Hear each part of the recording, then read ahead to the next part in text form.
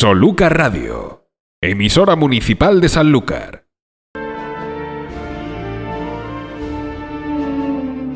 Este año convertimos las ondas de la radio en arte, fe y pasión. Desde el Domingo de Ramos somos tu cruz de guía. Desde Sanlúcar y para el mundo siete cofradías en la calle. Azar y pasión con los ojos del corazón. ¿Te imaginas nuestra Semana Santa sin sonidos? Capataces sin voz, palios sin música.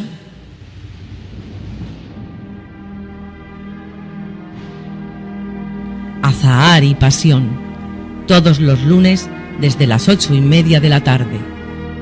Solucar Radio, lo contamos con los ojos del corazón.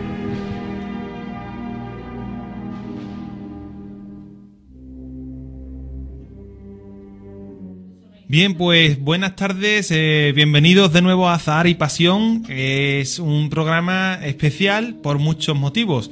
En principio porque es el último que hacemos en directo desde este plató de radio, desde este estudio de radio, y también porque hoy el entrevistado eh, por nosotros, por todo el equipo que vamos a presentar ahora mismo, es alguien también muy especial, porque claro, es el director de esta casa y bueno, se llama Antonio Ríos, pero hoy no va a estar como, como tal, sino que va a ejercer, pues yo creo que, no sé si es la primera vez, pero como pregonero de Semana Santa aquí en la, en la radio.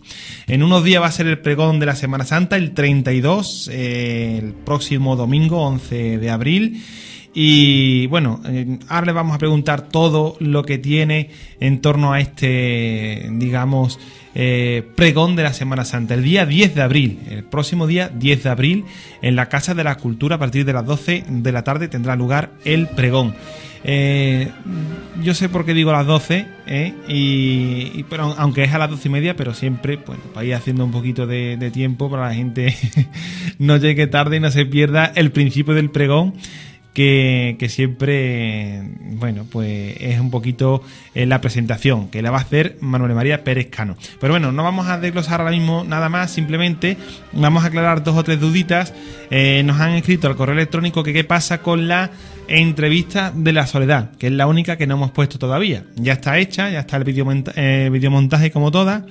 Pero eh, por motivo de que la semana pasada teníamos dos entrevistas, lunes y martes, esta semana hemos puesto la de las angustias, esta semana la del pregonero y la última semana de cuaresma será la entrevista, la que pongamos en el canal YouTube de la soledad. Por cierto que felicidades y agradecimientos a todos los cofrades que están pinchando todos en los audios, en los montajes que vamos haciendo con el material gráfico y especialmente a la gente del huerto que han pinchado muchísimo en las entrevistas. No sé qué tendrá que ver Manuel María con la difusión de la entrevista, pero bueno, hay mucha, mucho interés por los datos de, del huerto y por todas en general.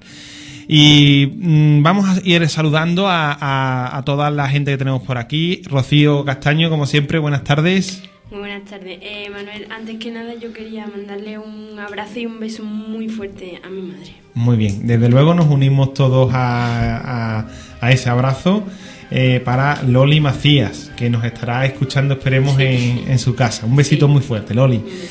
Antonio José Álvarez, buenas tardes. Buenas tardes. Nos quedan 13 días para el Domingo de Ramos. Qué poquito nos queda ya, ¿verdad? Parece mentira, ¿eh? Parece mentira. Yo, a mí, yo sé que a muchos no les va a gustar, pero yo digo que ya se acaba lo bueno. Ya, porque mientras antes llega, antes se va, ¿verdad? Y yo siempre digo que ya nos queda poco. Ya estamos saliendo de, de la Semana Santa. Es una pena, ¿verdad? Tanto tiempo esperando y se nos va en un suspiro. Pues sí, se va ligero, pero yo creo que por eso mm, queremos siempre volver a verla, ¿no? Porque si fuera eterna, pues también nos llegaría a cansar. Bueno, nos vamos también con eh, Manuel María Pérez Cano, que es el presentador del pregonero. ¿Qué tal? Buenas tardes, Manuel María. Buenas tardes. Buenas tardes y, bueno, que, mm, que en principio mm, bien, ¿no? Todo. ¿Cómo le estás dando muchos consejos al pregonero? ¿Te ha pedido consejos? ¿Qué tal? Pues la verdad, consejo ninguno. Ninguno. es verdad, ¿eh? No, no ha pedido demasiado todavía, ¿no? Bueno, de todas formas, eh, yo no soy partidario de dar consejos. Yo prefiero que... Cada uno... Sí, fluya como, como, a- te- como a- tenga que hacerlo, ¿no? A mí, por ejemplo, me gusta equivocarme solo. Y si aciertas, pues también aciertas solo. O sea que... Efectivamente. No, pero en cualquier caso, en el asunto del pregón es algo tan personal que al menos yo lo que pretendo es influenciar lo menos posible, cada uno que lo haga a su forma y como le entienda, ¿no? Bueno, pues ahora vamos a hablar eh, con, contigo y también, claro, está con Antonio Ríos. ¿Qué tal, Antonio? Buenas tardes. Muy buenas, buenas tardes. Pregonero, que ahora mismo vamos a hablar contigo, pero de todas maneras, ¿qué tal? ¿Cómo llevas eh, el tema así a grosso modo? La pregunta sería lo que me pregunta todo el mundo, si lo tengo terminado, ¿no? No, ¿cómo lo llevas a grosso modo? Porque a lo mejor es la pregunta del millón. lo tienes terminado, No. pero te queda poco, ¿no? No, me queda casi todo, no, hombre. No, yo, yo es que es que yo soy de los que piensa que el, que el pregón realmente no, El punto y final, no ¿cuándo se, termina, ¿no? Yo, En el mismo momento que, en que uno dice he dicho. yo en estos días, hablando con, con Manuel María, hablando con José Manuel Bou, hablando con Guerrero, hablando con gente que, que han sido pregoneros, eh, cada uno me ha venido contando eh, algunas cuestiones que realmente Mm. y llevan toda la razón, porque, por ejemplo, es el 10 de abril y ha habido gente que incluso el mismo día del pregón, a mí me, me llamó mucho la atención lo que me contaba, me contaba José Manuel Bou el otro día, y es que la misma función del Cristo de San Pedro Se le ocurrió algo. se le ocurrió porque ocurrió algo además, y fue la, el fallecimiento de, de Recio, José Sí. Recio, ¿no? concejal de- del ayuntamiento en aquel entonces y además vecino y amigo de José Manuel. Fue un detalle que él se da cuenta que ocurre en la función y, y podemos imaginar que fue 40 minutos antes de tener que subir al atril. ¿no? Rápidamente y en la misma función de- del Cristo de San Pedro es cuando tuvo que, que moldear un poquito más el pregón. Bueno, Y así casi todos le, le han ocurrido ciertas cuestiones, ¿no? Por ejemplo, José Manuel Guerrero me contaba que, que- que el año pasado, pues, por ejemplo, falleció eh, Juan, ¿no? Y también quiso hacer mención también al tema de Juan, ¿no? Se da muchas circunstancias. Al margen, yo es que creo que el pregón nunca se termina. Yo Sí. pienso así, no sé. Bueno, la verdad es que es una visión más, ¿no? Como estamos diciendo, cada uno aporta algo nuevo al pregón. Ya veremos lo que lo que nos ofrece Antonio, que estamos deseando de, de comprobarlo. También vamos a saludar, aunque esté un poco aquí más bien de, de oyente, eh, digamos presencial, pero saludamos a una compañera que eh, fue de retransmisiones, Laura Luna. ¿Qué tal? Buenas tardes. Muy buenas tardes y encantada de estar con vosotros otra vez. Laura, un abrazo muy fuerte para, para ti y para tu padre, ¿eh? que también es- estáis viviendo unos días difíciles. Un poquillo tristes, pero vamos, eh, lo agradecemos mucho y como digo, encantada de estar aquí con vosotros. Pues nada, eh, ya sabes que aunque digamos no, si quieres participar en cualquier momento, Por ya supuesto, sabes que por supuesto. tienes el micrófono abierto. Muchas Para decir que, que Laura es la, la hija del pregonero del año que viene. que Manolo queríamos Luna. decir que, Futuro. bueno, mm, el futuro pregonero de 2012 que eh, iba a hablar con nosotros hoy, pero que digamos por unas circunstancias familiares eh, lo vamos a dejar para más adelante, eh, porque Hay está tiempo, hay tiempo. Hay, hay tiempo, hay todo un año, claro que sí. Bueno, pues saludos también para Manolo Luna y también a, a toda su familia. Antonio, pues empezamos ya con un- unas pequeñas pinceladas de la actualidad cofrade, que siempre nos trae lo más polémico, eso me lo han dicho, que yo creo que la polémica también hace que sea también pues un poquito más, ¿no? La polémica es lo que trae viva la Semana Santa. Si nosotros quisiéramos hacer un, un- unas noticias eh, Polémicas. plácidas y, y sin ningún tipo de fundamento, pues cogeríamos fundamento, y le- lo plácido también puede tener fundamento. Bueno, pero, pero las noticias siempre vienen dadas de un punto de actualidad y la actualidad siempre es polémica, ¿no? No Bueno, aunque nada, la polémica, que- aunque la polémica siempre está en el, en el, en el oído, él en el oído y en la mente de cada ¿eh? persona. Porque fíjate, de algo así ya ha sacado el- No, Manolo, mira, te, debate. te voy a, te voy a explicar. La polémica no está en el que la dice, sino en el que la entiende, ¿sabes? Y si no, y si yo no quisiera hacer un algo polémico, pues simplemente dejaría que me dejaran o bien las preguntas o bien las noticias y aquí pues se leerían y punto. Lo que pasa es que yo no sería bien. el que las leyera, se las leería otro porque yo siempre tendré mi... Hace bien, forma también nos cuenta cositas así bonitas y bueno, a ver lo que nos dices hoy. Venga, adelante. Venga.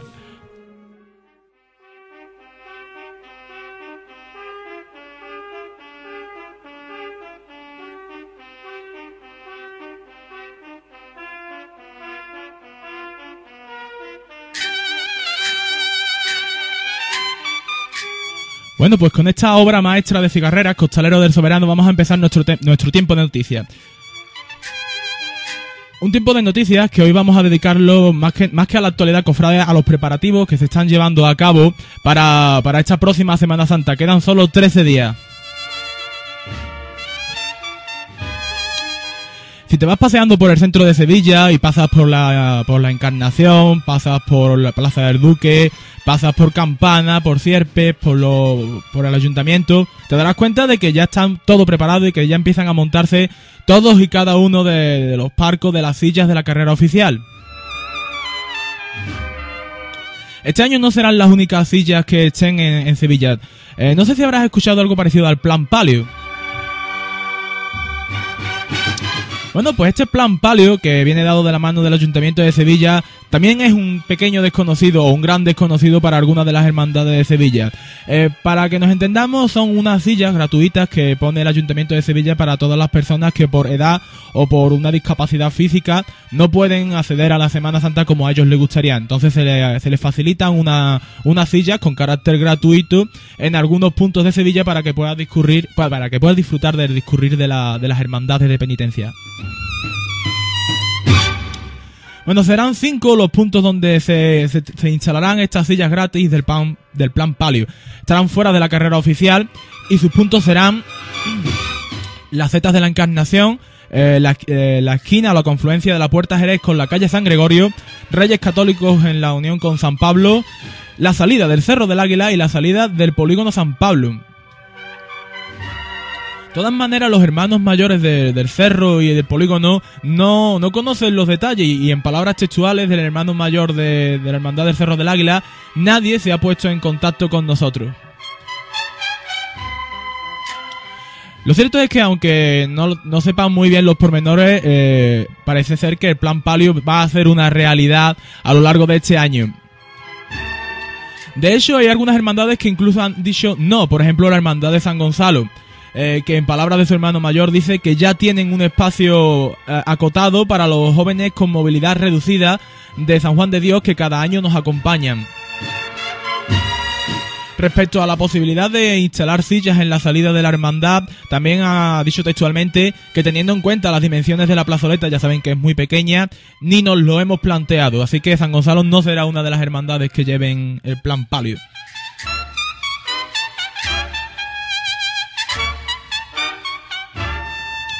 Bueno, y hablando de la actualidad y de, la- y de los preparativos para, para esta próxima Semana Santa, que sepas que este domingo pasado tuvo lugar la, la toma de hora. Un cabildo de toma de horas en el que todos los hermanos mayores de la cofradía se reunieron en la capilla real de la catedral para aprobar los horarios y recorridos de la nómina de la Semana Santa de este año. También se comunicó que se retirarán las catenarias desde hoy domingo hasta el próximo domingo de pasión y que no volverán a instalarse. Ya saben que se, se va, a se va a poner un nuevo tranvía que no necesitará las catenarias durante ese recorrido que, bueno, que precisamente se retiran durante la Semana Santa. Eh, un cabildo de toma de horas que ha tenido unos cambios importantes, algunos de carácter extraordinario y otros de carácter eh, más temporal. Por ejemplo, vamos a, vamos a nombrarte los más significativos. La mortaja, la ida, cambiará su paso por la, por la calle Imagen eh, y lo cambiarán, como ya te digo, por la calle Dueña, eh, la calle Trajano, San Juan de la Palma, Feria, San Andrés y Amor de Dios en el itinerario de ida. Algunos han querido ver, por cierto, una protesta eh, acerca de las famosas setas de la encarnación en este cambio de recorrido. El Sol acortará su, itinerario y en vez de entrar por la, por la calle 2 de Mayo, pues lo hará por la calle San Gregorio, pasará a la contratación Miguel Mañara, Placentine, Alemane y Fernando Colón y Hernando Colón, perdón, en su itinerario de ida hacia la campana. La exaltación y, y han tenido uno de los puntos más importantes en este cabildo de, toma de horas porque ya saben, van a intercambiar su puesto en el orden del jueves santo. La exaltación entrará así pues en, en el, en el lugar de Montesión y Montesión entrará en el lugar de la exaltación que en este caso será el segundo lugar del jueves santo. El Rocío será, o el Beso de Judas, será una de las hermandades que tendrá este itinerario extraordinario a lo largo de este año 2010 y, perdón, 2011 porque pasará por los jardines de Murillo y visitará Santa María la Blanca. Ya saben que fue el antiguo sitio, el antiguo emplazamiento de esta hermandad. Luego pasará por ya en la Falfa, por las calles Muñoz y Pavón y Cabeza del Rey Don Pedro y calle Candilejo. No se pierdan el impresionante misterio del meso de Judas por los jardines de Murillo y sobre todo a la vuelta por estas calles tan estrechitas de la alfalfa. La bofetada, la hermandad del dulce nombre, cambiará su, también su itinerario de ida y pasará por Conde de Barajas, Trajano, Amor de Dios, San, Miguel y visitará el Colegio de Graduados Sociales. Si me permiten una opinión personal, yo lo veo muy bien porque la bofetada en su itinerario de ida a, Campana eh, sufría un parón muy gordo porque había otra hermandad, creo que era la Candelaria, no sé, Candelaria creo era la que entraba en primer lugar antes de ello y tenía un parón que no lo dejaba tener un, un discurrir propicio como la hermandad se merece. Eh, ya decimos que dan 13 días para el Domingo de Ramos, pero ya hay algunos que están haciendo sus cábalas acerca del tiempo. Ya saben que la meteorología eh, a, 13 días o dos semanas vista es muy complicado, sin embargo ya están saliendo los primeros las primeras previsiones meteorológicas y la verdad es que no pintan bien, ¿eh? Porque anuncian una lluvia para Domingo de Ramos. Quizás no sea un día muy cerrado, pero sí que están, sí se están preveyendo que sean nubes y claros con, con chubasco.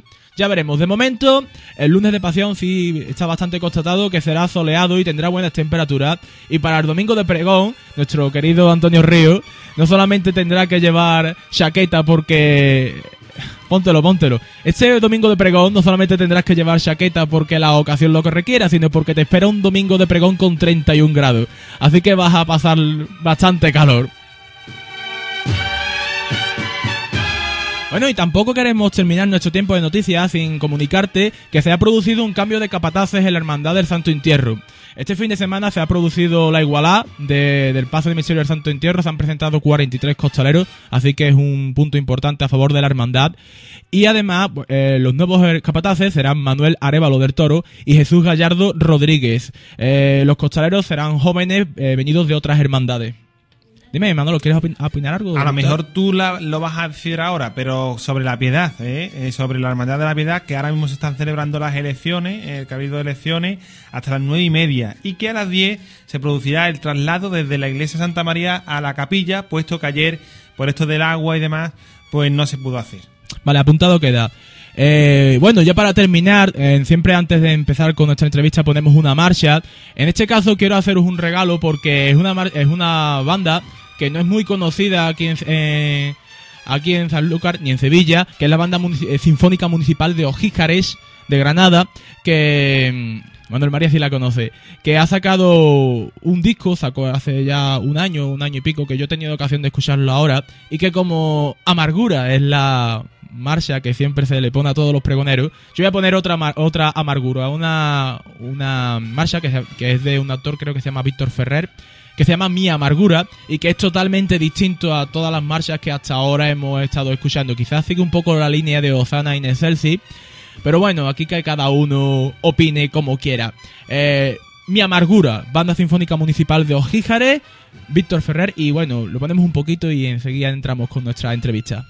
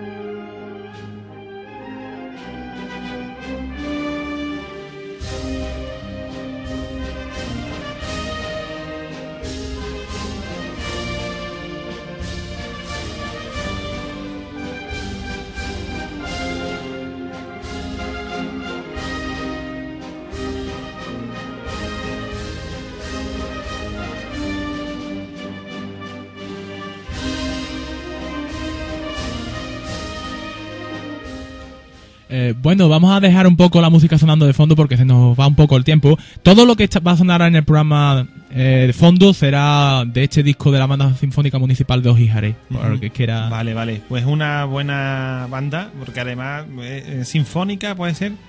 Es sinfónica, pero también tiene una, una sesión para ir detrás de palio. Vamos, Esta- Vale. esta- estas marchas todas suenan en Granada. Ok. Bueno, pues ahí dejamos esta marcha, Mi Amargura, eh, que esperemos que no sea la, amargura de, Antonio durante estos días.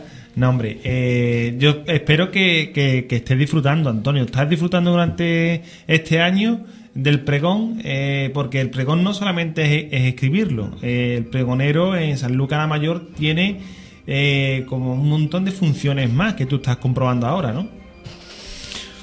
Claro, eh, ahí la verdad es que hay muchos protocolos que yo, que yo desconocía y yo te puedo decir que el día que, que en principio disfruté, eh, además fue hace un par de noches, ¿no? Estando muy a gusto con una reunión precisamente de pregoneros. ¿no? Eso es una tradición, parece ya, ¿no? Una tradición, Manuel María, que se hacía... Era una tradición que por diversas circunstancias parece pues bueno se perdió y tal y que se han empeñado José Manuel Bogo En entre ellos sí, y el nuevo consejo y demás eh, o algunos miembros de- del actual consejo de hermandad y cofradía de San Lucas en ir recuperando y eh, el año pasado creo que fue la primera cita de ese reencuentro de nuevo pues, pues bueno, sobre todo para arropar a- al pregonero con gente Por- que ya ha para pasado brindar, ¿no? por ese trance Exactamente.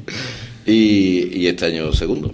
Bueno, pues Y aparte, hombre, lo que tú dices, mm, yo habitualmente a lo mejor alguna función sí he ido alguna vez, pero la verdad es que no, no lo hemos hecho con, con asiduidad, pero eh, todas las, las- claro, pero este año todas. Y además, de alguna manera, es casi obligatorio, ¿no? Eh, tienes que ir a todas las funciones de todas las hermandades. Y sí es verdad que, hombre, eh, las funciones son bastante dentro de la solemnidad que es el culto, pero donde realmente disfrutas, escuchas y se comenta es habitualmente en las comidas que después cada hermandad suele y de esa manera sí se disfruta. Y aparte pues desde, desde el primer día que te han nombrado y que lo estás dando a conocer hay gente de todo tipo que te yo recuerdo por ejemplo eh, gente de determinadas hermandades tienes que ir para allá tienes que ir. Que de eso si acaso ya hablaremos no cuando se habla un poco de las vivencias de para tú ir cogiendo vivencias y poder describirlo. Pero sí que es verdad que que el comportamiento del- de la mayoría de la gente que compone las hermandades y que, se disfruta mucho. ¿no? Claro. Bueno, pues ahí vamos a, a ir mm, abriendo todos los micrófonos. Vamos a hacerlo en modo tertulia, así que cuando alguien quiera preguntar algo o añadir algo a- al pregonero, pues adelante. Pero de todas maneras, yo quisiera también. Eh, ¿Por qué has elegido a Manuel María Pérez como presentador de.? Porque eso también, también es un compromiso, porque hay mucha gente que se te habrán ofrecido, sin embargo, eh, a Manuel María Pérez Cano. Cuéntanos un poquito porque, hombre, también eh, nos gustaría saberlo, ¿no? Bueno, a ver, primero, no, yo no sé si lo he comentado con él, pero sinceramente mm, eh, voy, a, voy a- voy a- voy a ser muy sincero porque había una persona en la que yo había pensado en un primer momento que, que desgraciadamente, pues, mm, por determinadas circunstancias, va a escuchar el pregón, espero. No sé cuánto tiempo de, cuántas horas de distancia tenemos con México. En la costa oeste está él, ¿no? Ujú. Pues casi 11 horas. 11 horas. Bueno, aquí el pregón será a las 12 y media. Y allí Bueno. a, las, a las 11 de la noche. Yo, yo en principio tenía el pensamiento de que me presentaras un familiar al que creo que todos lo conocéis, yo lo quiero muchísimo. Además es un tío muy especial y, y, y cuando yo pensé en la presentación mm, me acordé de él, ¿no? Que es José Luis Marín Martínez. Un- todo un artista y. Artista, de hecho ha ganado, eh, creo que me parece, ¿no? Algún, algún año el año. concurso de lo- eh, los relatos literarios de Lorenzo Mercadante o Sí, ha quedado ha finalista. ganado, ha ganado el de pintura y el, y el mercadante también. Y de hecho creo que tiene, o no sé si uno de los premios fue un- una especie de, de- de relato. Sobre la soledad. sobre la soledad. Ese fue el primer premio de- del año pasado. Y claro, mm, las circunstancias se dan porque, claro, eh, hace ya bastantes meses yo mm, hablé con él cuando ya lo supe y demás y, y quería que de alguna manera él, él me presentara. Pero la circunstancia es que desde aquel momento él ya tomó la determinación de, de iniciar una nueva vida y de irse a vivir a, A a México. México. que es donde está. ¿no? Pues un saludo para todos los Y- mexicanos y por si acaso para él también, ¿no? Y claro, y después tú piensas en quién te puede presentar, quién de alguna manera ha vivido mucho tiempo contigo, ha compartido las tareas de la radio, aquellos primeros años, aquellos sueños. De hecho, todavía continuamos compartiendo muchas historias referente a la radio, referente a Sanlúcar y uno de los fundadores de esta aventura que se inició hace 20 Och- 27 años años. casi y que además ha dado la casualidad mm, de que él se ha metido por completo en este mundo de las cofradías. Lleva ya años, ¿no? A través de amigos, a través del huerto y demás, ¿no? Y como mi pregón tiene mucho que ver con la palabra y la comunicación, pues lógicamente pensé en Manuel María, ¿no? Que aparte de comunicador, de periodista, mm, De de, compañero, de fundador, de historias que puede contar que hemos vivido juntos retransmitiendo los primeros años aquí, además es amigo, ¿no? Y, y por eso he confiado las primeras palabras del pregón en él, ¿no? Esa fue la forma... He querido ser sincero porque la primera persona, eh, por, por afinidad y por familiaridad, era con, con mi primo, ¿no? Pero luego, lógicamente, sin ningún problema con Manuel María. ¿no? Pero bueno, en este sentido estarás mucho, ¿eh? contento porque, porque has tenido muchas ofertas, ¿no? Muchas ofertas que te han ofrecido mucha gente, que muchas veces hay gente que, bueno, que a ver quién me presenta, es decir, que tenía mucha gente por delante, ¿no? Hombre, yo te puedo decir Que, que, eso la... también es de agradecer, ¿no? Eh, Mira, que si hace falta yo te presento, que... Sí, gente que se ha ofrecido y además gente que yo sé que se ha quedado con las ganas de que yo se lo hubiera dicho, ¿no? Claro. que los quiero también un montón, pero que, que lógicamente yo no, por determinadas circunstancias, yo he pensado fundamentalmente en Manuel María. Tengo que decir también como dato eso que tú dices que se, ofre- que se ofrecen. El año, pas- el año pasado fue. Manuel María creo que también estuvo en la boda de, de Javi, de Javier, Francisco Javier Francisco. Javier González. Mm, en esa boda es cuando realmente ya todavía yo estaba diciendo que no, que yo no quería ser pregonero, que yo no me veía, que, que- y de hecho empezaba ya a pasarlo mal porque Antonio Muñoz, el presidente del Consejo, se había empeñado, ¿no? Y él, de alguna manera, en la, en la misma boda, en el convite, es cuando ya empezó un poco y hay una persona muy especial para mí, que con la que yo me di la mano, fíjate, y yo, por ejemplo, la verdad es que tenemos ahora mismo los sentimientos muy a flor de piel en esta mesa, por todo lo que habéis comentado. Y era Juan, ¿no? Sí, claro. Antonio Muñoz quiso convencerme todavía más a través de Juan Escames en la boda, ¿no? De hecho, nos reunimos ahí en el convite, hizo que, que yo le diera la mano a Juan, que nos comprometiéramos, que Juan incluso podría escribir algo en el libreto de Semana Santa, y yo en plan de broma también le decía, de, bueno, pues tú haces el prólogo, no sé qué. Y nunca pensaba de que Juan para el pregón, después de aceptar yo, eh, no estuviera tampoco, ¿no?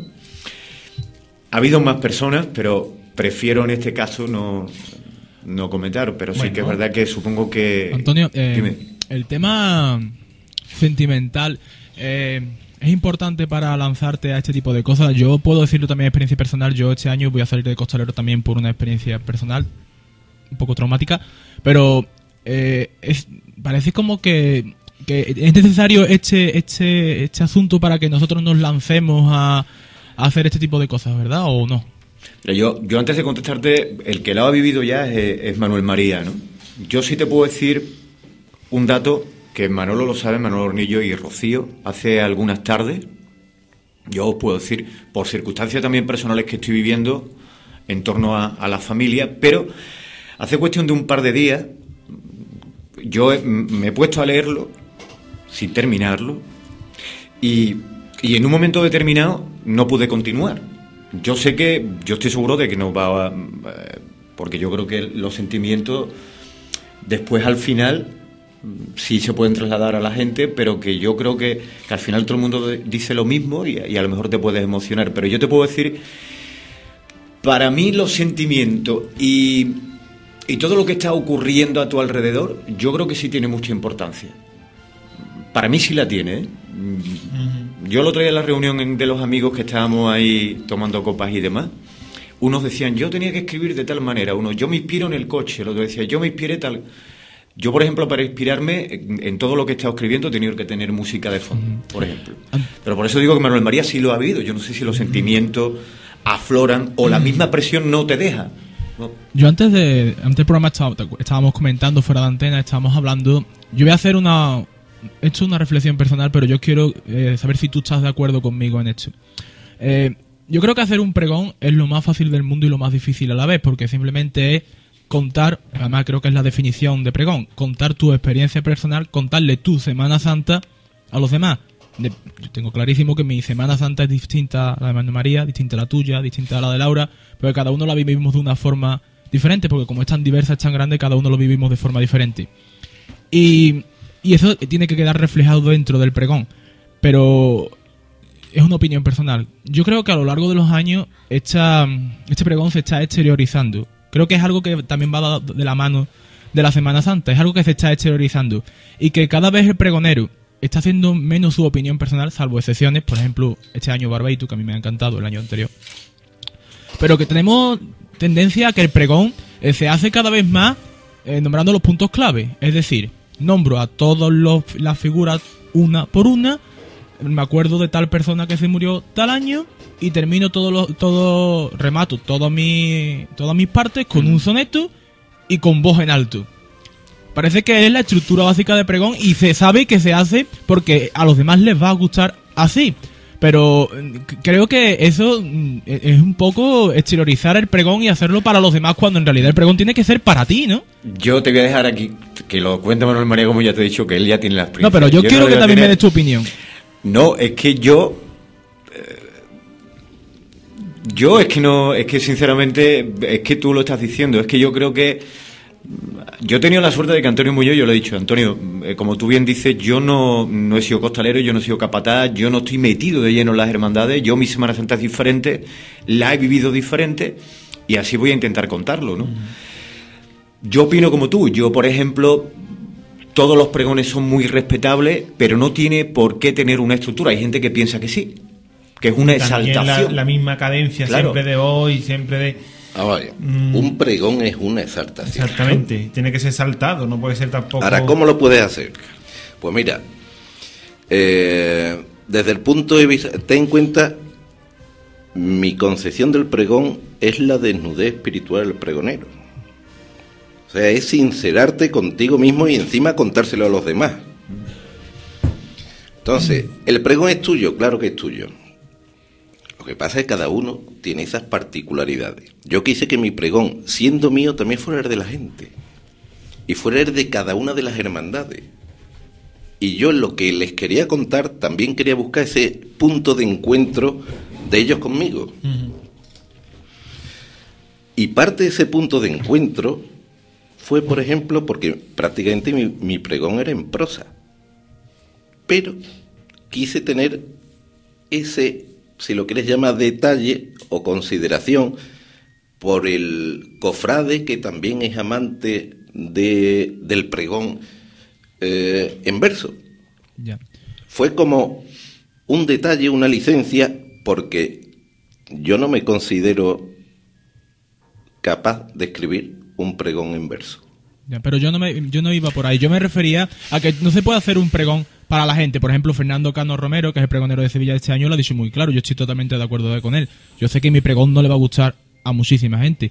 Es que tú no puedes hacer un pregón para los No, demás. no. Pero ni el mío, seguro, ni el de Manuel María ha gustado a toda la gente. Pero sí es verdad Entiendo. que yo, desde, desde el punto de vista, ya que abres el debate, sí es verdad que tú sabes cuál es el público del pregón también. Y cada uno puede escoger, bueno, a un público diferente, ¿no? Pero, mm, hombre, tampoco se espera también una especie también de, de exaltación, de... De todas formas, al final, en un pregón, te pasa igual que con las bodas. Siempre se te queda alguien fuera. Siempre. Y algo de lo que quieres expresar. Siempre se te queda algo fuera. Y te das cuenta después. Ahí entra la improvisación. No, que... yo no creo que entre la improvisación. Normalmente suele estar bastante bien meditado, pero se te va. Es que ten en cuenta que cualquier pregonero va a intentar expresar toda su experiencia y toda su vivencia y toda su religiosidad y todas sus creencias y toda su amistad con la gente y, y toda la humanidad posible en unos folios que va a leer durante una hora, hora y cuarto, 45 minutos, hora y media. Punto. Pero eso es un compendio de la vida del tío que, o de la mujer que se sube allí a hablarle a los demás. Y resumir una vida de 30, 35, 40, 45, 50 años en 40 folios es mucho resumir. Entonces, algo se te tiene que ir. Claro.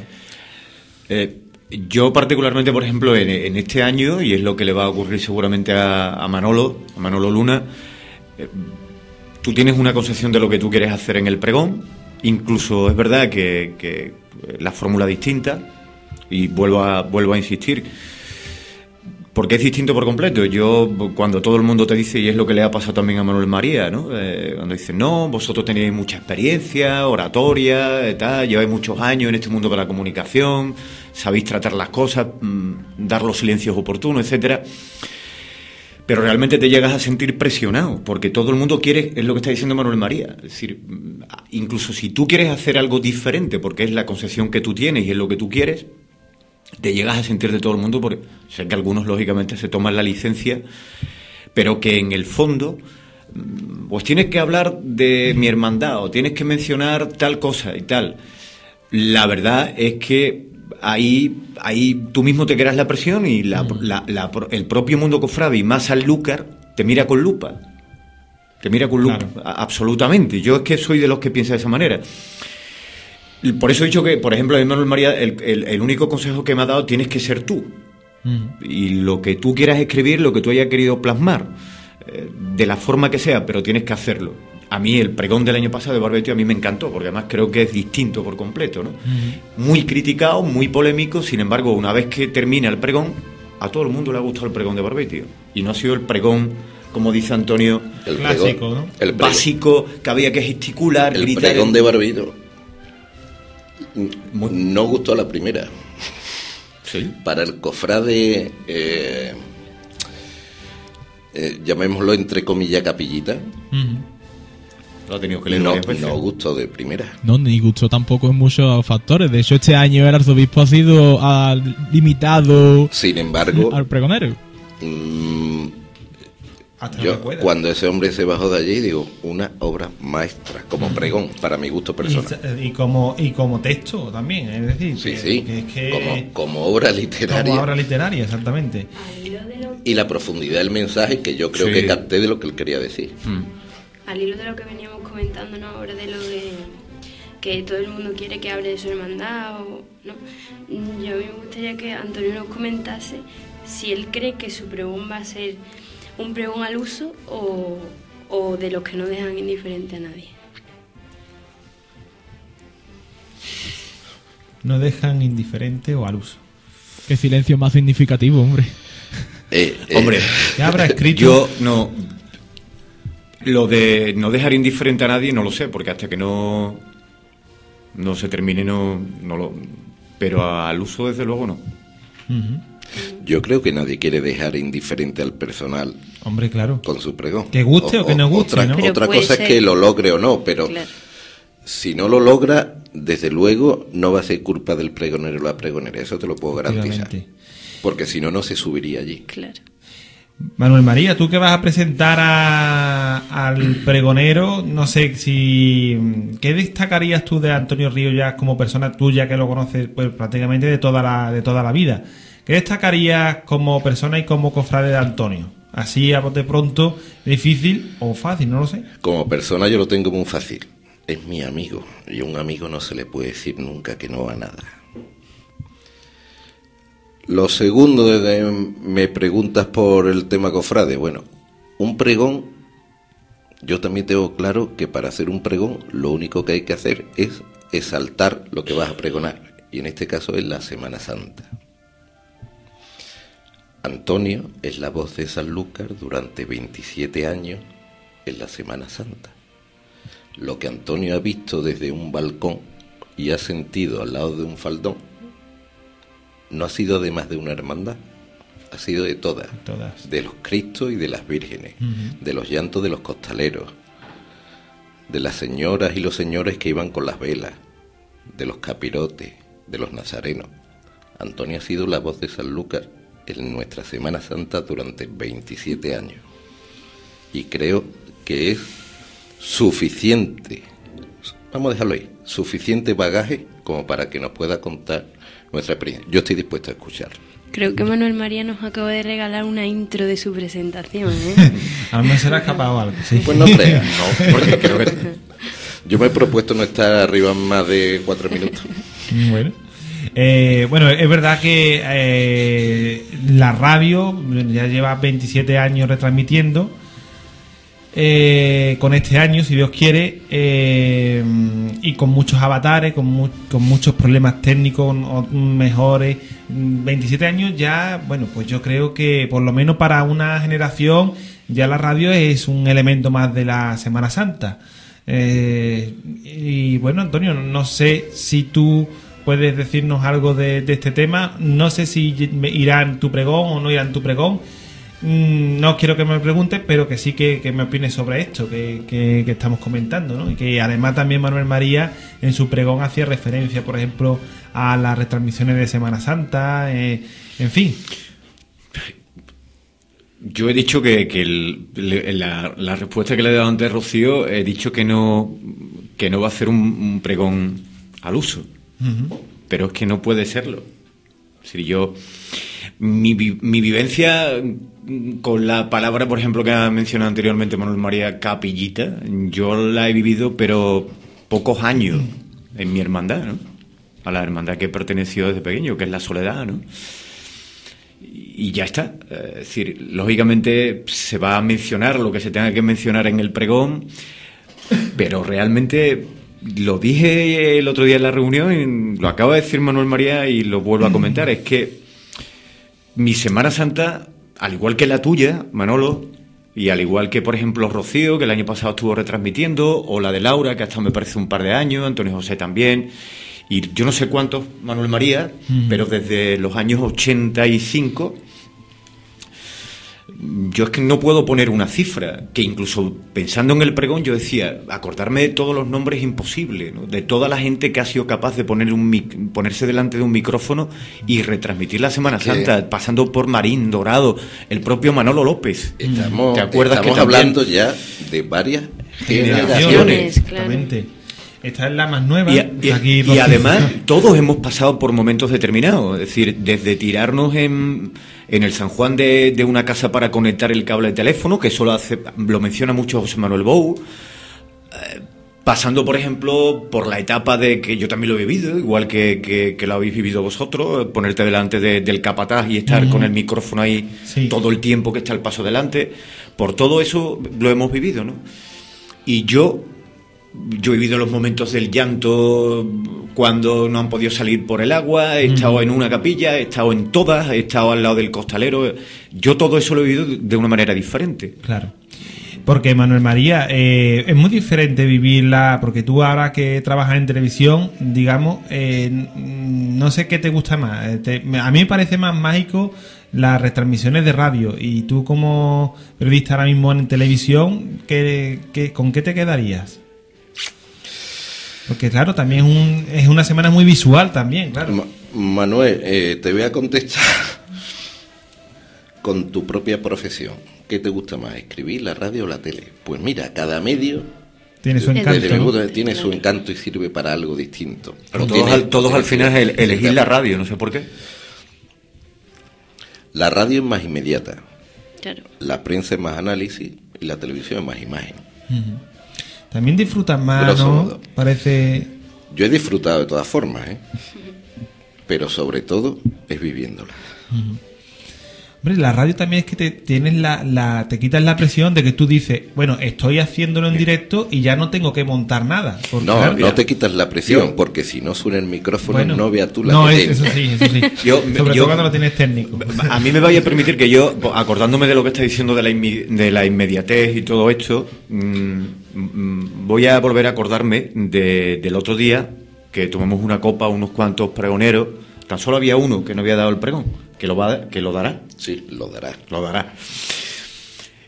Ah, y y claro. recuerdo, recuerdo perfectamente que empezamos a hablar de la semana pasa- de la semana del año, del año pasado, la Semana Santa, ¿no? Y entre los que estábamos presentes eh, estaba, estaba, eh, el capataz de, de nuestro Padre Jesús, Manuel Hidalgo, ¿no? El año pasado, como todos recordaremos, se dieron unas circunstancias muy especiales Mm. en casi todas las hermandades, todas tuvieron determinados detalles eh, por aquello del reciente fallecimiento de- del alcalde, de Juan, ¿no? Y, a- y hablando con Manuel Hidalgo, mm, comentando un poco el tema de los pregones, los que se cuentan, las vivencias, etcétera, etcétera, estaba también Antonio Muñoz, eh, ahí tomando la copa. Claro, y, nosotros decíamos, mm, o Manolo me preguntaba a mí determinadas cuestiones y yo le decía, claro, yo te vi. Yo te vi lo que hiciste. El pueblo no te vio. De hecho, ni tan siquiera se percibió de lo que hiciste. Ahora, a los que te vimos y tuvimos la gran suerte de contárselo al resto que estaban escuchando, voy a lo que estaba recordando antes Manuel María, ¿no? Es decir, el momento en que Manolo Hidalgo se sale de capataz, coge un ramo de flores, se va a las rejas de la puerta del ayuntamiento a colgar ese ramo y dice que la radio lo captó con el micrófono, esto es para un costalero de nuestro Padre Jesús. Y nosotros fuimos como pudimos, porque nos costó, relatando lo que allí estábamos viviendo. Yo me atrevo a apostar que el 90% de la gente que en ese momento estaba en la plaza, a, a pesar de que cuando entra nuestro Padre Jesús está en silencio, no se dio cuenta. Al igual que no se dio cuenta cuando los niños de la borriquita leyeron lo que leyeron y encima regalaron eh, eh, siete, Siete rosas. siete rosas Siete. rojas a, a- a Raúl, ¿no? ¿Y esos momentos inéditos también van ahí en el pregón? Hasta ahí no te lo. Pero yo sí lo hablé el otro día, pero yo lo hablé en relación a lo mismo que estábamos comentando. Es que no tienes por qué eh, ser capellita o haber estado en una hermandad desde chiquitito, haber limpiado la plata. Cada uno, tú lo has dicho antes, Antonio, tiene su Semana Santa y la interpreta y la va a plasmar como él cree. Yo vuelvo a decir, creo que los que trabajamos en los medios de comunicación, o los que al menos trabajamos en este, que llevamos veintitantos años retransmitiéndolo, yo me atrevería a apostar que a lo mejor incluso las vivencias son mucho más, ¿no? O mayores, ¿no? O más extensas. Sí, se siente de otra manera, la verdad. Antes de que se me pase, porque se me va a pasar y, y aquí ninguno te lo va a preguntar, pero yo sí. Soleá, dame la mano. Soleá, San Lucas te llora. ¿Van por ahí los tiros para la marcha que vas a elegir para el principio del pregón? No, ¿No? no. Por cierto, Antonio, eh, a mí me gustaría que nos Anda. comentase, No, pues yo pensaba que iba a hacer algo por ahí. que nos comentase cómo va a ser tu música el pregón y que nos dé algunas pistas de las marchas que se van a poder interpretar. No, creo que una nada más, ¿no? Creo que el pregón. Y solamente puede Hay ser una una. Una petición del pregonero y, Y otra que, del consejo que es Amargura, que es la que...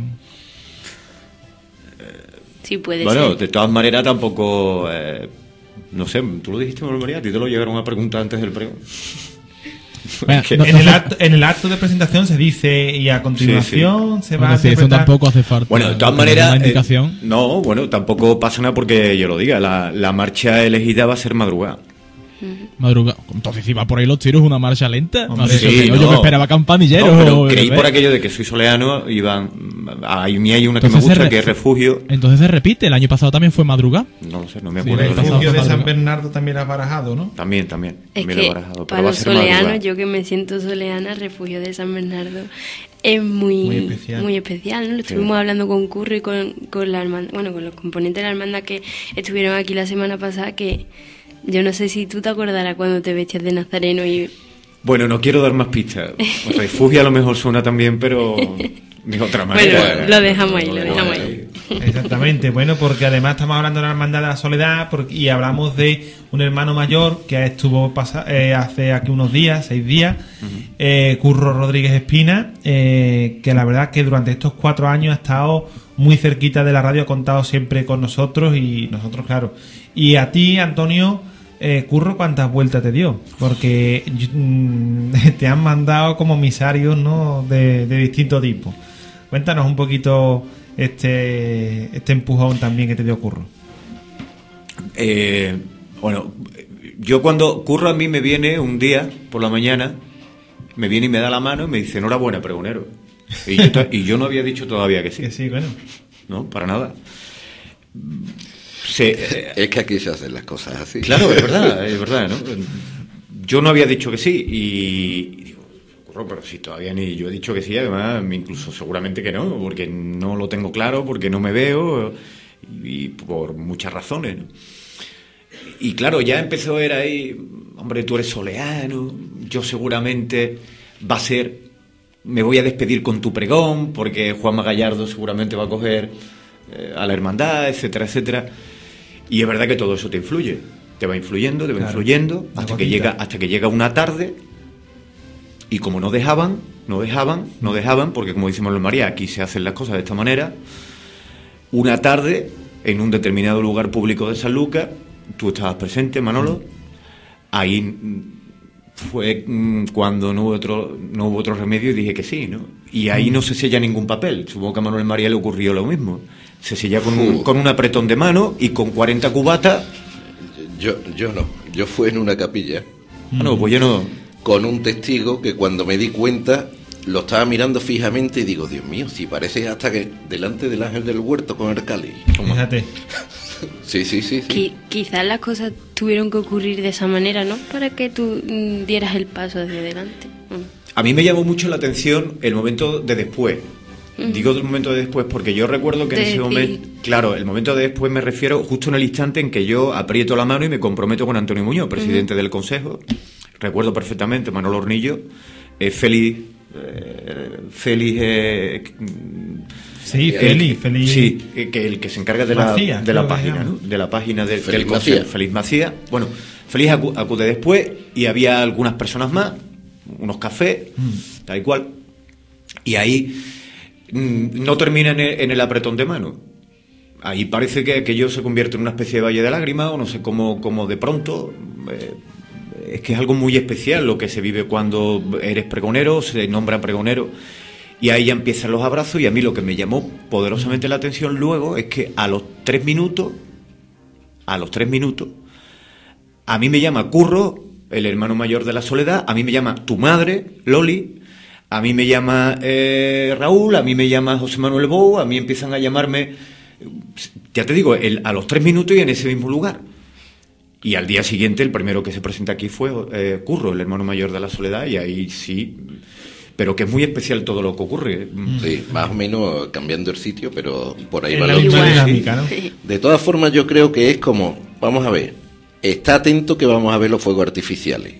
Lo que no sabemos todavía es cuándo le vamos a meter fuego a la mecha. Exactamente. Pero está pendiente. Y en el momento que eso se produce, alguien coge un teléfono y se corre como un regalo de pólvora. Efectivamente. Por Tenemos pregonero, ¿no? Por cierto, este año eh, el tema de, mm, bueno, la ceremonia del pregonero, eh, la- este año se ha cambiado, ¿no? Eh, Laura, me- bueno, por si no lo sabéis, yo sé porque como ella es la hija del pregonero, yo digo que en qué se ha cambiado este año el acto de- del pregonero, porque normalmente se entregaban las tapas eh, allí en, el- en el pregón, creo recordar, ¿no? Y- A ver, yo mm, eh, no puedo um, asegurar nada porque eh, todavía no, es, no, es, no hay seguridad en cuál va a ser, creo, el protocolo. Y creo que a lo mejor me estoy aventurando a decir cosas que no son. Entonces, No, pero yo digo sí que puedo decir que el futuro pregonero, ¿no? pregonero ¿no? tendrá que hablar. Eso sí es seguro. Ah. Que eso se ha modificado. Ahora, ¿no? Ahora. Eso sí, el resto del protocolo no lo conozco. No, pero Habrá digo- que preguntárselo al pregonero. Pero digo que no sé. 2012. Pero No lo Laura, sé. yo lo que digo es que no, que no va, que a- habrán ido a tu casa, fueron, estuvieron a tu casa el consejo. Yo no sé si antes también se Llamada, así. llamada telefónica. Ah, llamada telefónica. Es Sí. que no sé, es que, que nos expliquéis un poco cómo es este protocolo de antes del pregón, que va el consejo a tu casa, eh, os reunís, cómo, cómo se, se establece eso, este protocolo previo al pregón. En mi caso, eh, sellamos el compromiso, como ya comentaba antes, eh, en mi caso fue un- una tarde en la capilla del huerto, donde además de ser hermano y, eh, y miembro de la mesa y todo lo demás, Francisco Javier González Canto, pues estaba allí y tal, y al final eso, es el empujón este que te arropan, que no, No, sabes dónde te metes, sí. que venga, que sí, que no. Pero wow. que digo que no existe un protocolo Mm. estándar. Hay una propuesta. Ese fue Claro. cerrar el compromiso. Una vez que estás comprometido, ya lo demás es más.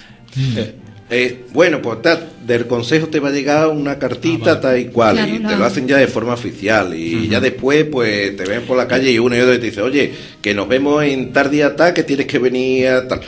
Y, y ya entras en la dinámica, ya te todas las hermandades te mandan oficialmente como La pregonero invitación. su, la invitación para Claro. su quinario, su función.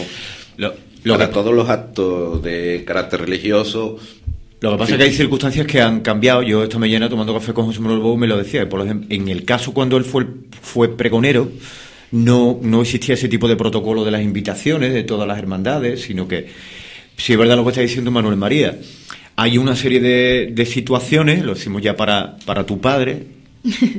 Lo único que creo que va a cambiar este año es el protocolo de... Sí. mm, De la presentación. es decir, yo termino mi pregón y posteriormente se acabó el pregón. Ya creo, creo sí. porque Sí, creo, creo que se, le, se va a leer eh, el acta, El acta, acuerdo del Consejo de Hermandades, nombrando oficialmente ya pregonero al, a la persona que lo va a hacer el siguiente año y creo que... De, de todas maneras, también los cambios que antiguamente, bueno, tan antiguamente no, es decir, hace pocos años lo que hacía es que había hermandades que presentaban pregoneros y a lo mejor había momentos, había años en que, que había tres o cuatro pregoneros y había que elegir. Afortunadamente, propuestas claro, y- afortunadamente eso también ha cambiado. Digo ha cambiado porque se presenta solo un- Sí. una persona, Eh, verás, em, más que se presenta una lo persona... presentan. Primero lo buscan y, Y cuando luego, lo tienen claro. cerrado, entonces lo presentan como candidato. también. Pero sí que es verdad que ha habido, ha habido años y en que ha normalmente, habido- pues, sí, Se debate un poquito, y ¿no? se Ha intenta debate. hacer por consenso, Eh, para que no haya- buscan el consenso entre ellos antes de, de hacer una presentación oficial, incluso dentro mismo del consejo. Claro. Pero sí, algunas veces ha habido eh, Ese tipo de- ciertos debates. A veces incluso con dos candidatos de la misma hermandad. y a partir de ahí... Yo creo que yo podría decir en nombre de mi padre, porque ya te digo que no soy él y él ya ha contestado lo que te ha contestado en su día. Yo creo que es un poco igual que Antonio. Llega un momento en el que pasa algo, hay un, alguna circunstancia extraordinaria que es lo que te decide decir sí. Y a partir de ahí es cuando ya realmente empieza algo oficial, por decirlo de alguna manera. Sí, sí. Porque realmente una propuesta puede estar, pero después está la voz del que tenga que aceptar o no. Claro. Y en este caso yo creo que siempre hay algo personal, hay algo eh, extraordinario que es lo que va a decidir sí o no. Pero muy extraordinario. Sí, y en este caso yo, creo... Yo voy a cumplir este año habido. 49. Que ni son muchos ni son pocos, son los que muy son. Pero 49 están bien. Y a mi edad, que es la que es, pues tengo muy pocas cosas claras. Una de ellas era que nunca iba a ser yo pregonero de la Semana Santa de. San Lucas, ya hace unos cuantos años que lo sé. ¿Y por qué creéis que cuesta tanto mm, decir que sí? Porque responsabilidad, porque el nivel del pregón de San Lucas la mayor han pasado muchas voces y lo han hecho muy bien. Eh, respeto también, ¿qué es lo que hace que en un primer momento siempre se diga, oye, espera, espera, que esta decisión no es tan fácil como vosotros creéis, ¿no? Hombre, esto es como si de buenas a primeras en una capea te dice, venga, la muleta y tírate. Eh, toro. Bueno, espérate que eso tiene dos pitones, que me puede gustar, pero o no, pero eh, yo no me he visto con una muleta ni con un bichito de eso más chico y verás tú que como me coja, me cogen. Efectivamente, que eh, también es, es eso, ¿no? Eh, Antonio, ¿Qué? ¿qué es lo que qué es lo que te decía?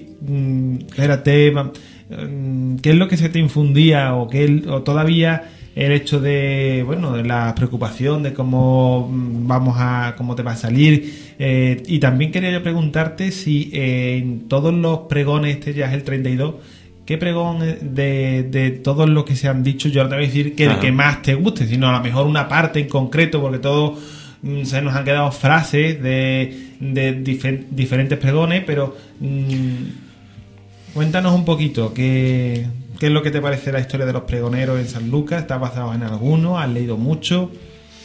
No, yo, yo por ejemplo, mm, volviendo a lo mismo, hemos tenido la suerte de retransmitir, este es el 32.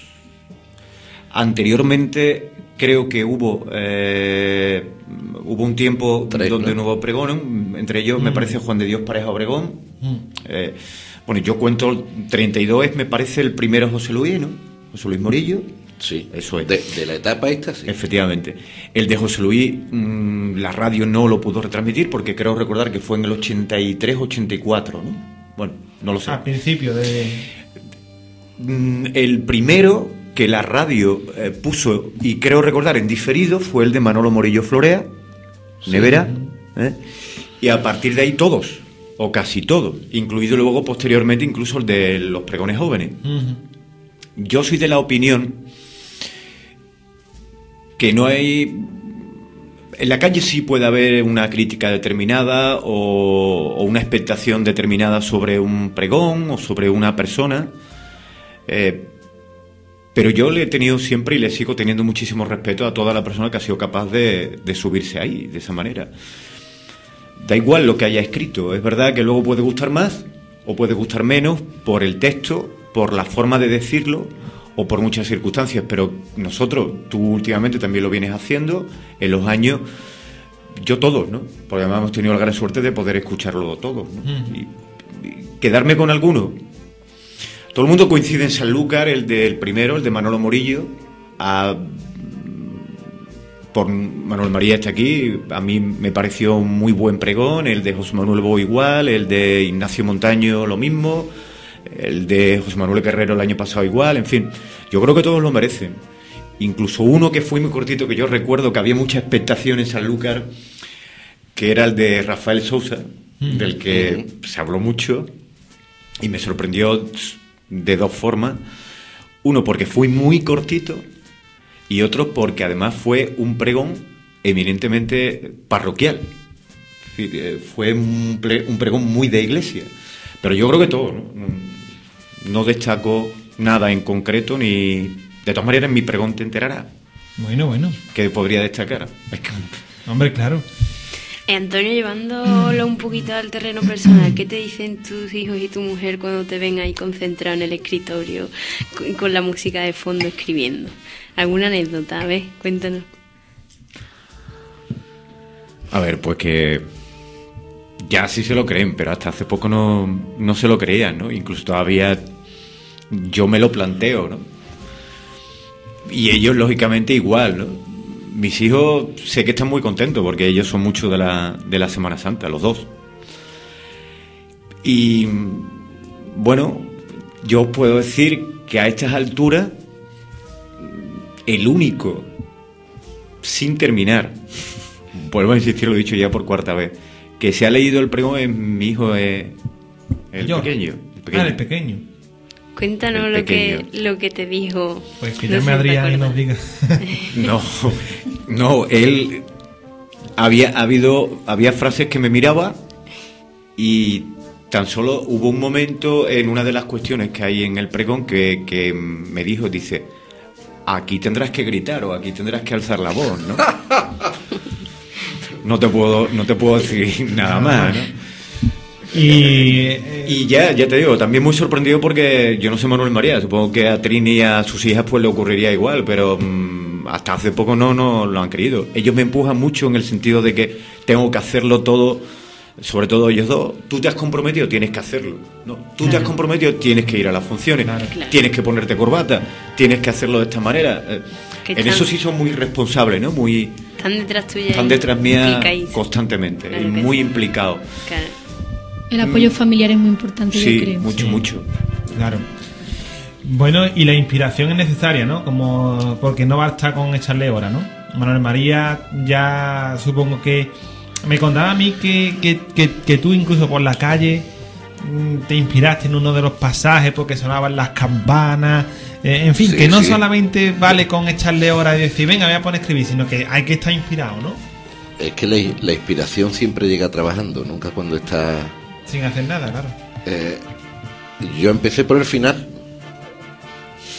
Yo empecé en agosto, un 6 de agosto, una de esas tardes, trabajando de tarde en San Juan, en Canal Sur, y una de esas tardes tranquilitas, de la que tuvimos suerte de que no ocurriera ninguna historia rara ni nada de esto. Total, que estaba eh, el panorama y en un huequecito digo, "Uf, como yo no empiezo el pregón ya, verás tú la que me va a dar. Total, que ahí hice, creo que un par de folios tres. los primeros. Del tirón. Y ya no cayó hasta... Ahí cayeron un par de folios. Di la verdad. Sí, sí. Y una semana después, viniendo para acá por la noche a las diez y pico, diez y pico de la noche, sí, o nueve y tal, yo no sé por qué, pasando por la autopista con mi moto, a la altura de un brete empezaron a repicar las campanas.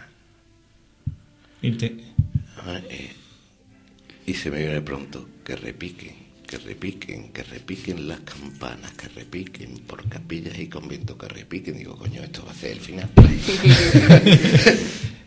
y llegué a casa y del tirón me bajé de la moto corriendo, ¿dónde vas? ¿Vas a cenar, Trini? Y digo, no, no, no, pero es que tengo que escribir una cosa. Porque Trini no leyó el pregón, yo no se lo di. Y lo quiso leer, yo no se lo di. Ni mis hijas, ni nadie. Nadie, absolutamente nadie. A mí, Y, perdona, Sí, sí, Antonio, ahora te voy a contar y ya no volví a tocar nada del pregón hasta noviembre. Que volví a escribir un par de folios. Y se acabó. Fíjate. Vamos, ya a mí me pasó lo mismo. O sea, tardía como hoy, yo teniendo que dar el pregón el domingo, y la gente me decía, venga ya, que tú ya la tienes tres veces. Y digo, que no. Pero que no, que no. se sorprenden en muchos casos. ¿no? Yo voy a, voy a contar una anécdota. Yo he contado lo del tema de. A la pregunta de Rocío de la familia, Manuel María está diciendo el tema. No, eh, antes de. En Reyes, eh, me acuerdo que estábamos. Y Reyes, precisamente, Reyes Morillo, la hija de Manolo, Manolo Nevera. Empezó a contarnos un poco la, anécdota de su padre, de Manolo Nevera, ¿no? Y mm, cada uno, claro, lo hace. Y, contaba ella cómo Manolo Nevera, dicen que, pregón de los pregones de, aquí de Sanlúcar, cómo su padre, ca- cada vez que hacía algo, lo reunía a todos, reunía a sus hijos, reunía a su mujer. Primero ponía el himno de Sanlúcar, el himno parroquial de Sanlúcar, y posteriormente le recitabas a todos, le recitaba todo el pregón, ¿no? Todo el mundo ahí sentado, a escuchar mi pregón, no sé qué, no sé cuánto, ¿no? Cada uno lo vive de una manera diferente. Está claro. Yo ¿Dónde has buscado la inspiración? Porque tú has ido a buscar la inspiración también. ¿Has tenido algunas citas así muy bonitas? ¿Eh? Cuéntanos eh, alguna de ellas. ¿Algún encuentro? ¿Algún, ¿Alguna persona especial que, te- que tú hayas buscado para, para este pregón? Mm, Yo supongo no para inspirarte, sino para que te aportara ideas. Cuéntame. Al hilo de esto, Manuel, siguiendo lo que tú No, has no quiero responder, pero yo sé que ha visto a mucha gente. mm, ¿De quién te vas a acordar los instantes antes a que tú estés frente a tu actriz? Claro. Es que lo que pasa, las preguntitas de Rocío también apuntadas.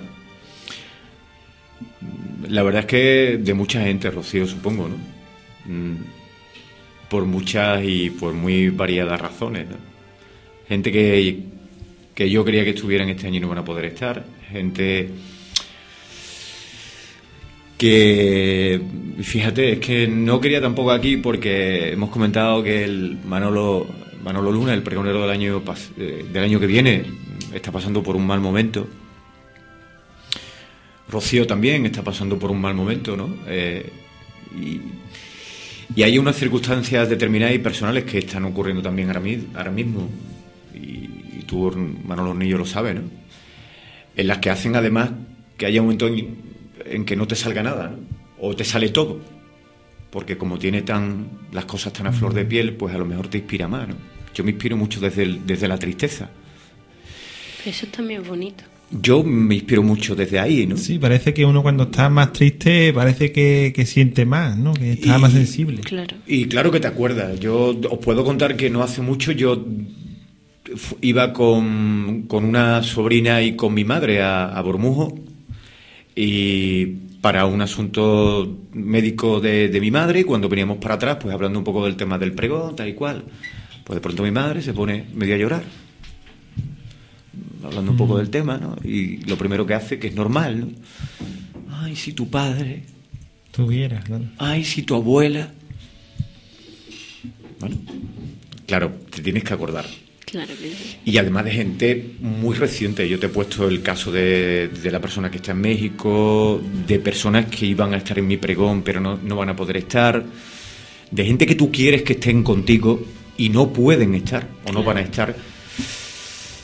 Te lo diré cuando termine el pregón, o tú mismo lo vas a adivinar en cuanto empiece a hablar del pregón. Y quizás, Por- sea- quizás sean esas personas las que te han impulsado a ti a... Que quizás sean esas personas las que te han impulsado a ti a decir sí. Pues posiblemente. Mm, Posiblemente. Yo ya he nombrado a alguien hace un ratito. Mm, Aparte, sí es verdad, Laura, que aparte de que esa gente, sí es verdad la insistencia, ¿no? Que es verdad que cuando uno, eh, cuando el presidente del consejo va a por ti, va a por ti. Eso lo tengo claro. Eh, no sé si a Manuel María le habrá ocurrido lo mismo, pero a mí particularmente, Antonio Muñoz, ha sido muy pesado. ¿no? Entre comillas, en tono Sí, cariñoso, que ¿no? ser muy insistente, ¿no? Muy insistente. No, no, no, no, insistente no, pesado. Pesado, pesado. Eh, Javi González Canto conmigo, igual, pesado, tres años. Pon, martillo pilón, pegando- ¿eh? Martillo pilón. Tú el año que viene, pon, pregonero, tú el año pon. que viene. Y luego, Hasta que. y luego lo curioso es que cada uno se lo adjudica. Eh, Manuel María fue pregonero mío. eh, O el otro, pues este es mío. Y ahora van. Digo en tono, porque es verdad, porque se- todo Sí, sí. esto, sinceramente, Al final pregonero acaba siendo patrimonio sanluqueño. se mueve así. Es decir, es un mundo muy especial, ¿no? Eh, que de alguna manera compartimos y. En el fondo es agradable, es una Sí, sensación hombre, muy claro. Porque, bueno, es un año de mucho trabajo, eh, está claro que, pero al final, mm, hasta que no, mm, bueno, a ti te queda lo más importante, que es el culmen, ¿no? Que es decir, el pregón. Pero es un año muy especial, ¿no? Porque la presión esta es una presión bonita, ¿no? No es una presión... Sí, es como la adrenalina cuando tú estás a punto, cuando jugabas a fútbol y decías, tú, "Uf, un partido importante. O como aficionado estás deseando que llegue una gran final o un mundial. O, eh, Lo pasan mal, pero estás ahí. Sí, o cuando te vas a examinar de las notas finales de curso. Entonces, ¿cuál es el miedo? Yo muchas veces lo comento. ¿no? cuando, cuando la gente, hay gente que te paran, a ti te habrá ocurrido igual, tú, tú lo vas a abordar. Porque hay que ver cómo hablas por la radio, hay que ver la voz que tiene, la experiencia que tiene. Digo que a ti te habrá Sí, pasado sí, por sí. lo mismo. ¿no? Claro, y yo muchas veces, yo para mí pienso, es decir, da la impresión que la gente no piensa en el texto, en lo que tú vas a escribir, sino cómo lo vas a decir. Mm. Es que Porque, eso también es muy porque importante. yo soy de los que piensa, yo desde siempre, que a lo mejor hay un mal texto o algo que a lo mejor a ti no te... Pero si la persona lo sabe transmitir, llega, ¿no? Y a lo mejor es un pedazo de poeta o un gran literato. Y, y yo he pensado para mí, es como tú que le has nombrado los partidos de fútbol. Esperemos a ver, partido de expectación, partido de decepción. Quiero decir que a veces también te ocurre porque te encuentras gente y hay gente que te dice, y da caña. Y otro, di de mi hermandad. Y, no, y, y te encuentras Algo ahí. en verso, Sí. una poesía bonita para la vida, que tú eres de no sé quién, Ch, que se note que tú eres de tal hermandad y que eh, tal. Te van eh, llegando mensajitos subliminales, ¿no? De- No, de no, todo el mundo. subliminales no, directo al hígado, vamos. A ver, Antonio, tengo al teléfono a un amigo tuyo, José Manuel Bou, Hombre, Llegó, llegó. que creo que quiere decirte algo. Bueno, buenas, buenas noches, José Manuel. Buenas. ¿Qué tal? Buenas noches. Buena. ¿Cómo estamos? ¿Tranquilos? Yo he estado hablando con Antonio ya esta mañana. José Manuel, Lo he estado- Sí, dime. que aquí tienes a Antonio Ríos, que tú también ya llevas un, un camino bastante grande recorrido también aquí en radio, en fin, en, muchas, en muchos asuntos.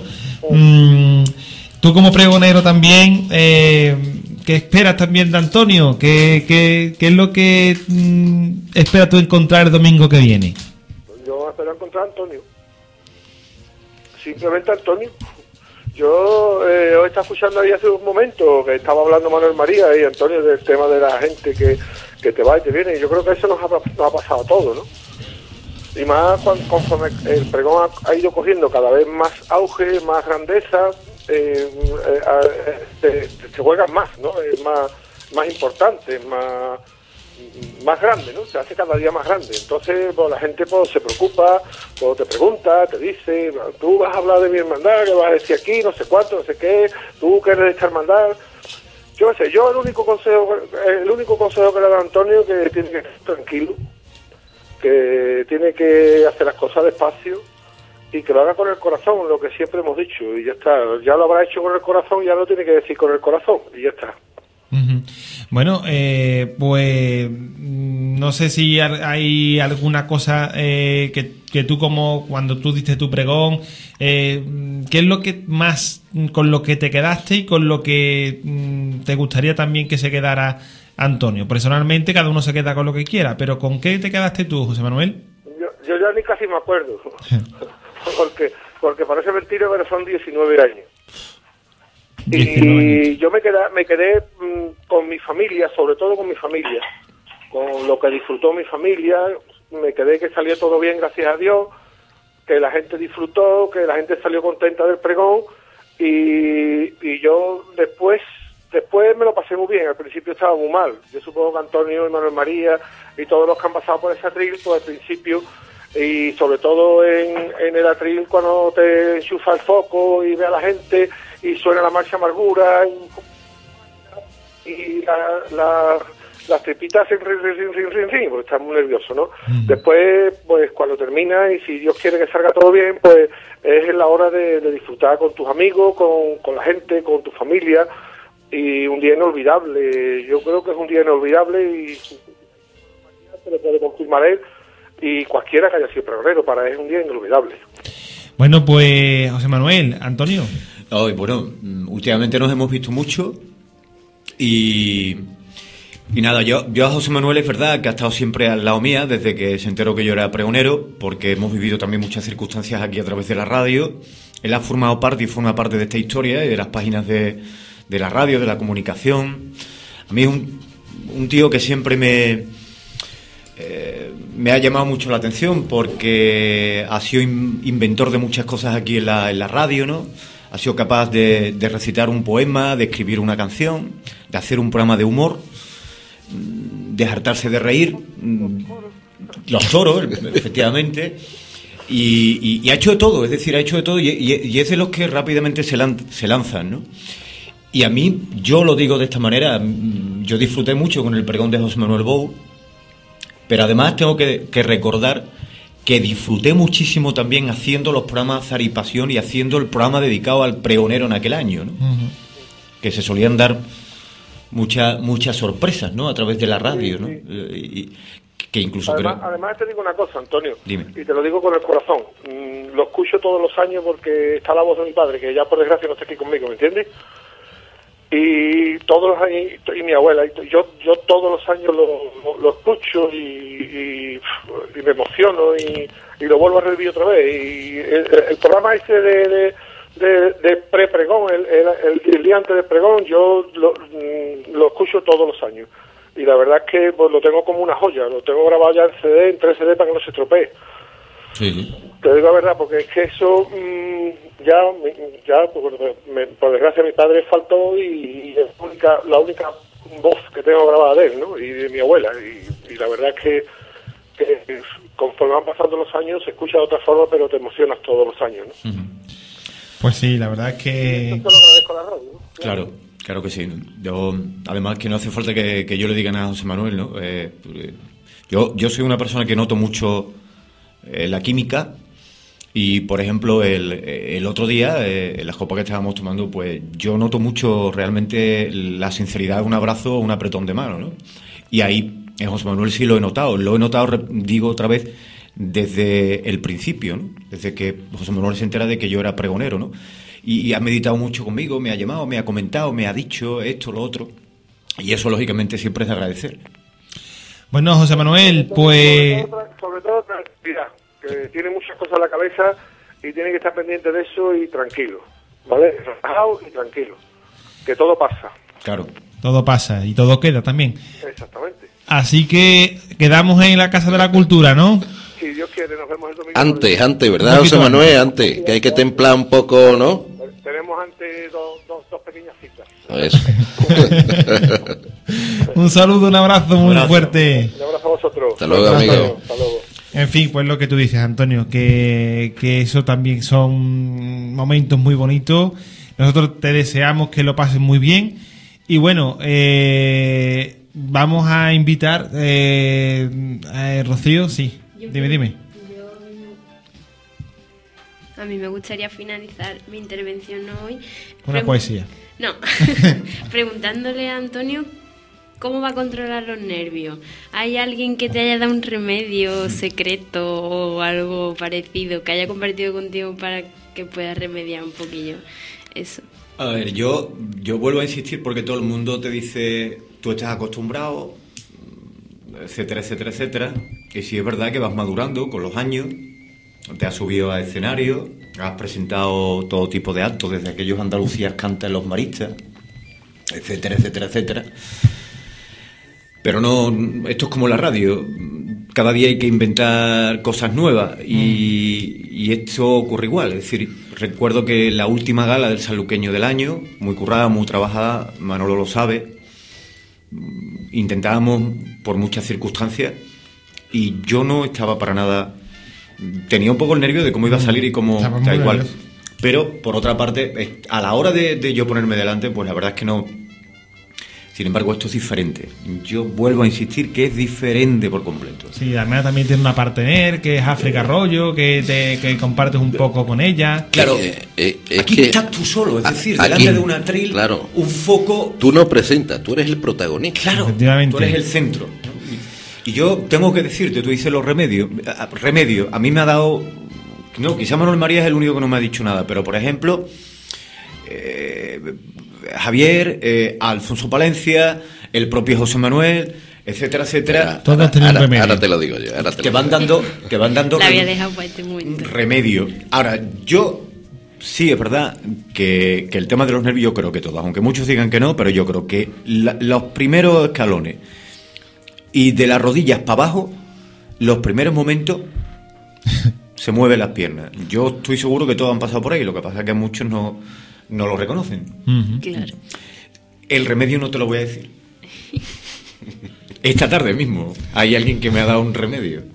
No será el que, no será el que te he dicho. No, no. Ha sido un profesional. Ha sido un profesional el que me lo ha dado. De todas formas, cuando tú te subes ahí arriba, en este caso en concreto, un pregón, quien va a escucharte va porque quiere Mm. y va deseando que triunfe, porque quiere escuchar un buen pregón que le guste. Entonces, de entrada, la gente que está allí son adictos a ti. Lo que quiere es que te van a darte esa fuerza con la que tú ves que no tienes al principio. Claro. Pero de todas formas, yo también estuve nervioso, ¿eh? Mucho. Manolo dice, yo no te noté a ti. nada". Eh, Pues sí, Pues que a mí me decían lo mismo. sí. Hasta que en un momento determinado, afortunadamente más pronto que tarde, eh, bueno, pero si es quien venía a escucharme, eh, eh, voy a decírselo y vamos a disfrutar y al final nos vamos a ir. eh, vamos que nos vamos. Claro que Y sí. sale y la cosa sale. Claro que sí. El de Antonio va a ser un buen pregón. Pues sí, lo va a hacer, lo va a hacer. Antonio, pues que Bueno, te dejamos, que te vamos a dejar el micrófono como si no fuera tuyo, pero para que te dirija a toda la gente que, que, que te esté escuchando ahora y Le estás demás. haciendo la primera entrevista como invitado, ¿no? Sí. Sí, En yo- 27 años de radio, ¿no? mm, Esto es histórico pues, también. También, como la verdad es que, mm, hombre, ya Inés Villasana te hizo una así personal, Muy pero personal. digamos que como invitado, No, también, también. Ya era, ya, me parece que ya era pregonero yo, ya, ya era nombrado la, la- aquella entrevista de Inés, que lo consiguió conmigo. También. Es verdad, cuando hacía el programa ¿Quién es quién? Un minuto antes, mi única pregunta. A ver. ¿Qué vas a hacer la noche antes del pregón? Aparte de dormir. ¿o no? Como se nota que estamos aquí entre gente que estudia lo mismo y que. Pues la verdad es que la noche antes, claro, que es el sábado. Pues no lo sé, Manuel María, porque he pensado acostarme temprano, pero me da a mí que no. Y si me acuesto temprano creo que no voy a dormir. Digo yo, no lo sé. Sí es verdad que, eh, que hay familia que viene de muy lejos y habrá que, que estar con ellos un rato. Hay algo que quiero hacer, hay algo que quiero hacer. Y lógicamente, seguramente, que como ha dicho José Manuel, por la mañana hay varias citas de los mendas de los protocolos. Seguro no me va a dar tiempo, pero sí que hay varias cosas que quiero hacer. Y, y es que no sé, porque sinceramente hay varias personas a las que quiero a las que quiero visitar antes. ¿no? Bueno. Y me voy a permitir que no lo diga, ¿no? Pero, pero sí me gustaría, ¿no? Y aparte, lógicamente, también hay algo que, que la verdad yo lo tenía pensado, pero que me gustó muchísimo que hizo José Manuel Guerrero el año pasado. Y es visitar y, estar delante, en este caso él, de nuestro Padre Jesús. Y a mí me gustaría mm, mirar muy fijamente a la imagen que a mí me enamoraron sus ojos desde que era chico, ¿no? Que es la soledad. Con lo cual, todas estas cosas. Muy bien. Bueno, pues que no son pocas, ¿eh? Y encima con la musiquita de fondo, ¿no? Efectivamente. Bueno, pues compañero, son las diez y pico de la noche, nos ha salido a poco, pero mm, en fin. Antonio, mucha suerte, te va a salir muy bien, eso ya te lo decimos, y seguramente que nos vas a emocionar a todos. A todos, seguro. Ahí estaremos, ¿no? Para comprobar. Hombre, yo espero estar, por lo menos. Estaréis todos, ¿no? Yo espero, eh, si la técnica no lo permite. Y después disfrutaremos, ¿no? Hombre, claro. Y repito, como el sentir popular, lo va a abordar. Lo vas a abordar. Bueno, Ánimo. Dios quiera. Bueno, muchas gracias Antonio Río, muchas gracias Manuel María Pérez, eh, Cano, Laura Luna, Rocío Castaño, muchas gracias por estar todos estos programas con nosotros, Rocío. A ti, Manuel, por contar conmigo y nada, ha sido todo un placer estar estos programas contigo y con Antonio y con todos los invitados que hemos tenido y, y nada, pues cuando... Nos vemos ya en Semana Santa. Exactamente, nos vemos. Antonio José, un abrazo y bueno, ¿cuál va a ser la última marcha que vas a poner en Azahar y Pasión 2011? Pues la última marcha que voy a poner en, en Azahar y Pasión en el año 2011, no el último programa, el último programa de la cuaresma, porque Azahar y Pasión continuará en nuestra Semana Santa. Hombre, claro. Será una marcha que yo voy a dedicar en honor a nuestro pregonero y que no puede ser otra que la que la que le hará temblar las rodillas subiéndose a ese atril, que es Amarguras. Esa marcha de Fond de Vila que, que siempre suena al principio de cada pregón y que se ha convertido en un clásico en nuestra. Semana Santa sevillana. Así que en honor a nuestro pregonero, Y mira que es larga. Pero allí sentado Pero se te hace muy preciosa, cortita. ¿eh? se te hace corta y tú diciendo, no no pueden tocar otra vez. Así, que, así que en honor a nuestro pregonero, el último programa de Azahar y Pasión de la Cuaresma terminará con esta marcha, con amarguras. Así que va por ustedes y buenas noches. Buenas noches.